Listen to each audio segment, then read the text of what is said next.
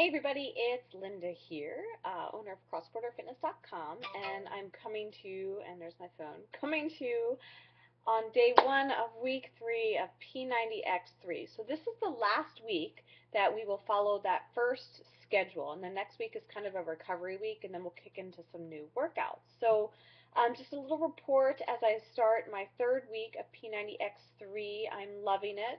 Um, you know, I definitely have workouts that I prefer over others. I love CVX. That's definitely one of my favorites. Um, I did dynamic. Yesterday I had the option of doing Dynamix or taking a rest day, and I chose to do Dynamix, and I'm really glad I did because it just kind of stretches you out um, in a little more active way than the yoga does. So I really enjoyed the Dynamix. I wish I had done it the other two weeks as well.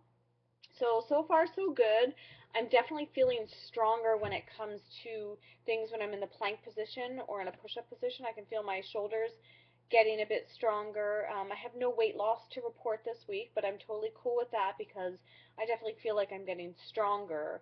Um, as far as the nutrition plan goes, I'm trying to stick to it as much as I can. I, I like the nutrition plan from P90X3.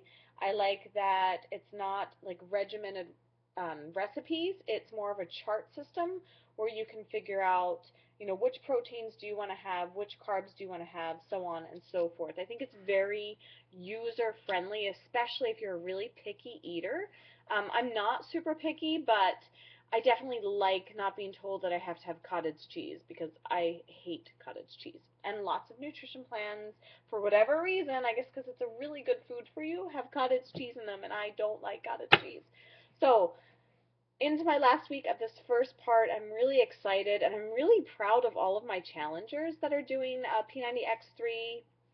Some are doing the classic schedule, some are doing the lean, but everybody's keeping on pace. Everyone's checking in, letting us know how they're doing, and you know the challenge group has been awesome. Um, so anybody who's doing P90X3, I hope you're loving it as much as I am. If you have any questions about P90X3, let me know. I'm happy to answer them, and uh, I will check back with you after some more progress. Have a great day.